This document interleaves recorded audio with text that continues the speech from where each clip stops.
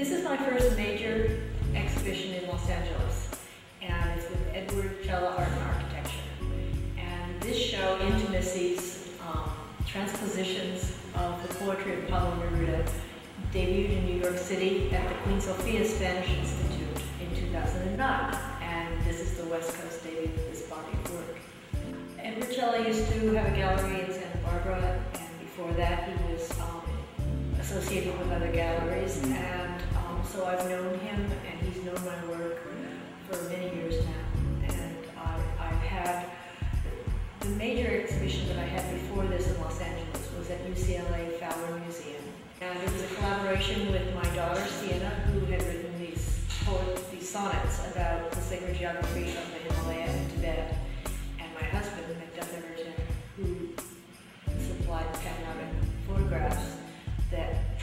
illustrated the places that she wrote about. And I did a handmade artist book and some large paintings, all based on a travel excursion that we had with my daughter when, um, when she was just 19, going for the first time to Tibet, to Nepal. And the exhibit at the Fowler, Monty Wall was um, in conjunction with an exhibit called The Missing Peace, Artist's Portrait of the Dalai was first painting, I was an undergraduate and pregnant with her, so I was I had her at a very young age. Um, and I was painting in the Southwest, and the desert varnish sort of um, stains that leach out of the landscape gave her her name, Sienna, color of the earth. And that merging of landscape and landform and color um, has really informed my work and my imagery ever since. And Sienna taught me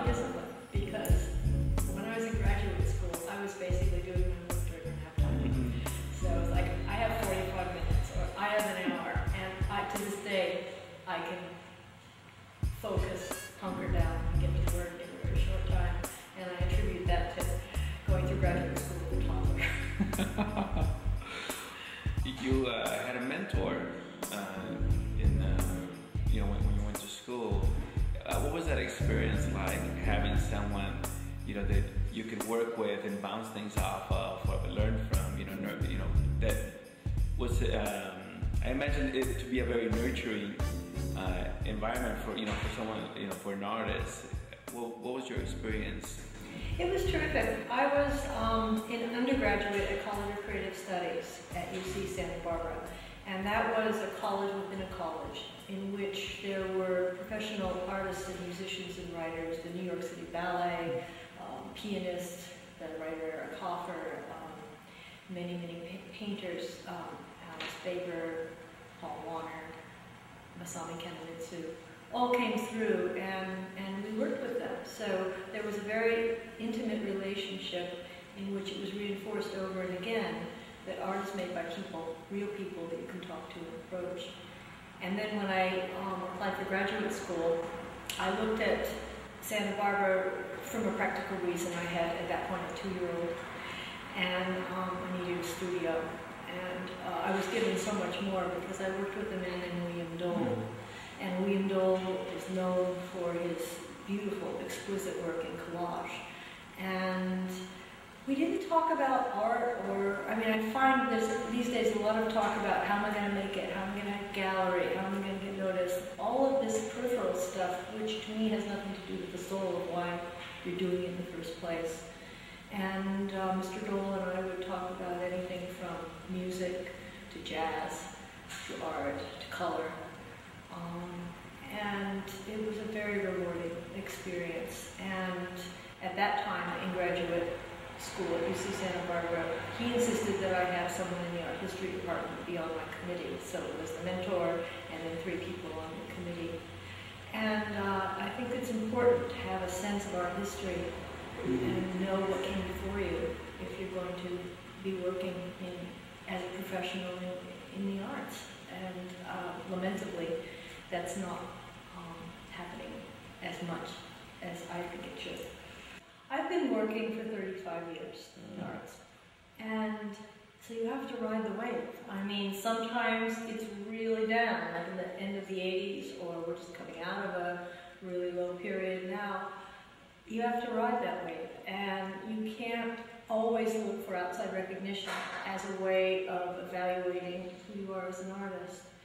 And I was very fortunate in, in the beginning um, to have the attention of a, of a, wonderful woman named Peggy Walker in the Bay Area who um, saw my work at a rental gallery in Santa Barbara, rental galleries are things, and uh, called on me.